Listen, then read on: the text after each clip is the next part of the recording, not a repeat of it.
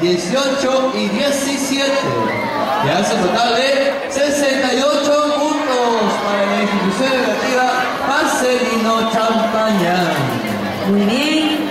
Ahora seguimos con el colegio